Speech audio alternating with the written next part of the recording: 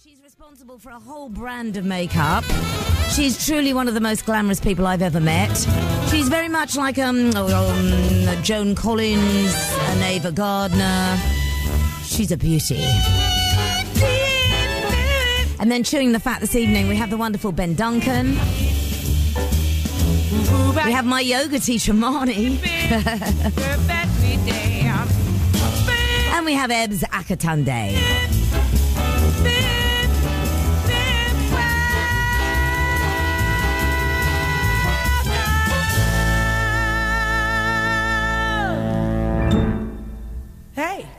My eyes. But before all that, listen to this. I'll take romance while my heart is young and eager to fly. I'll give my heart a try.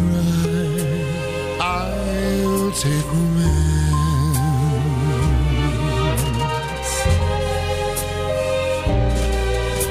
Yes, I'll take romance while my arms are strong and eager for you. I'll give my arms their cue. I'll take romance.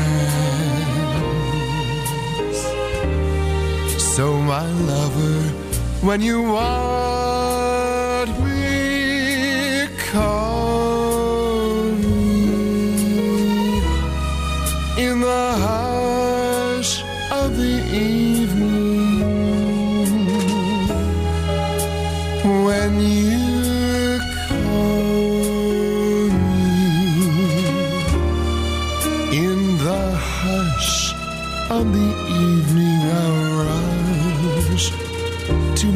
first real romance.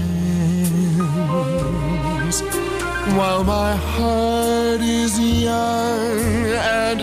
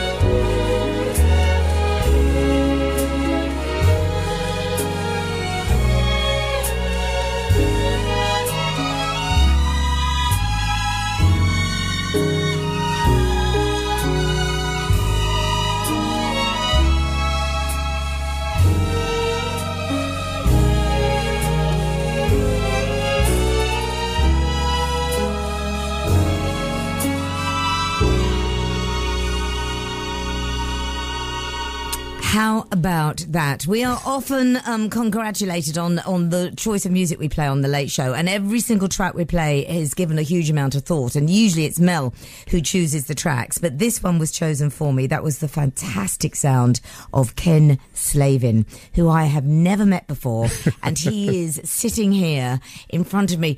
You are so clean. There's no, there is no other. You are just. It's you are scrubbed. It's wonderful. All I can see are these amazing teeth and a whiff of cologne. Oh, thank it's you. Just I hope the cologne wasn't too strong.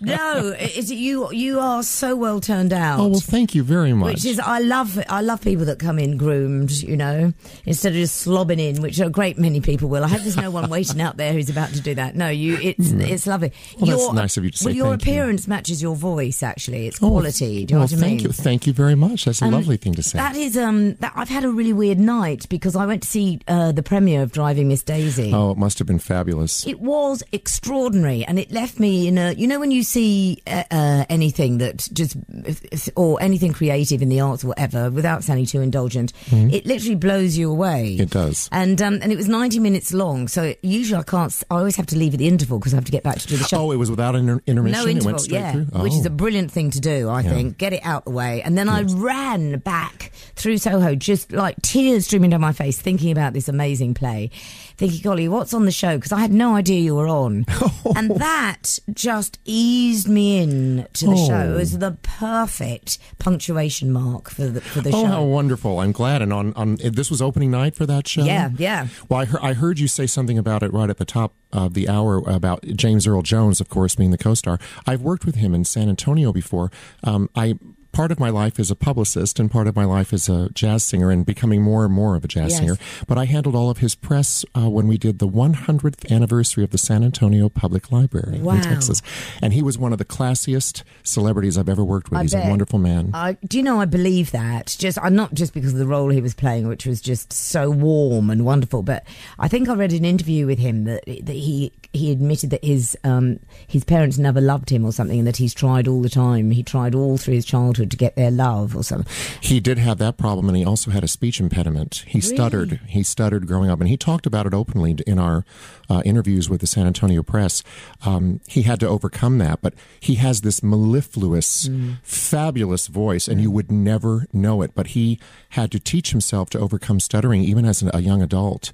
He's one of those old time star. Old time isn't the right word, but of the old school. Yeah, yeah, no, exactly. he took pictures with every we used we had a lot of children at this event every child who wanted a photo every mother who wanted a photo anyone he was just gracious as could be and when he told us the story about the stuttering i couldn't believe it No. because his, his is a voice that people emulate Yes. you know and he was the voice of darth vader Yes, exactly. uh, no, he, he- extraordinary. And talking of voices, uh, so is yours. Um, Oh, thank and you. I, and it's really interesting you saying that um, that the more you work, the more successful you're becoming. Actually, in jazz. yes But I- is that is that because um, a voice in the style of singing you do gets better and better as you get older? I'm, t- I'm, t- I mean, you're you're not old by any no means. but i totally know what you mean But d- does it is it a good is it a good maturity? Do you think? Yes, I think so. Um, I actually, to begin with, I started late. I was 29 when I started singing, and it was because it was a long time fantasy and dream of mine to sing, but I didn't start till then. And the kind of material I do, which is, you know, the, the, the jazz classics and the, the, the standard classics of the mid 20th century, basically, um, they take a you have to kind of under you really have to understand the lyrics everyone's sung them you know they- they've been done by frank sinatra Yes. and everybody in the world but i found that as i've gotten older and as i've done more and more performing which it it is mo- it's more performing now than the public relations work and living life Yes. I, I just turned 50 in August, and I find myself singing songs in entirely different ways now because I actually have lived and understand Yes. the lyrics, you know, whether they're happy or sad or poignant or romantic or whatever. Isn't that interesting? That's one of the few advantages of growing old, isn't it? In in your style of, of work, I can absolutely understand because, as you say, many of the songs that you sing have been sung by, well, the. I mean, you list here people that you actually have met, like Matt mm-hmm. Monro mm-hmm. and people like that. That Sinatra, you obviously never met, No, but no. but do you know what I mean? So so there is always that comparison, isn't there? Between the Yes, and you know that that can be a problem for someone in my genre because you don't want anyone to ever think that you're a copycat Yeah. artist. So I've I try very hard to put my own stamp on things.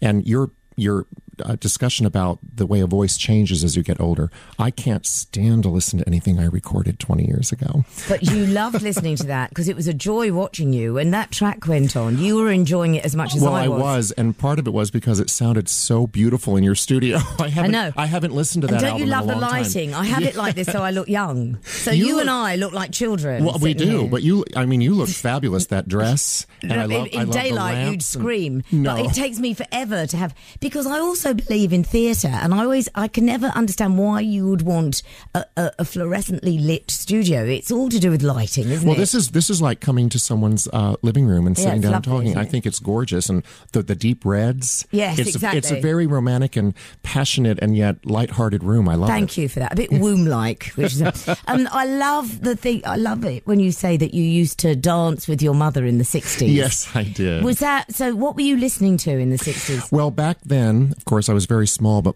my mother had me when she was 20. She was very young. And we were living in New York then, and she would turn on the American Bandstand show every afternoon. Back then, it was on every day, Monday through Friday.